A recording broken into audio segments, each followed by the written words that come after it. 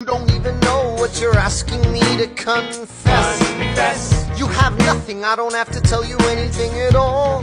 Unless, Unless if I can prove